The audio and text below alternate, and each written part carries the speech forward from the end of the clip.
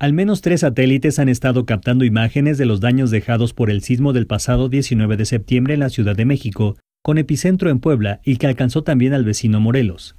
Las imágenes del llamado sismo raboso por los expertos internacionales podrían ayudar en las tareas de reconstrucción, indicó un reporte del sitio especializado Space. Los mapas fueron elaborados con imágenes previas y posteriores al movimiento sísmico tomadas por los satélites Sentinel. Científicos de la NASA trabajaron el material para producir los primeros mapas. Las vistas muestran la extensión de los daños dejados por el terremoto y sus posteriores réplicas, señaló la NASA y agregó que el material ya fue entregado a autoridades mexicanas. Notimex.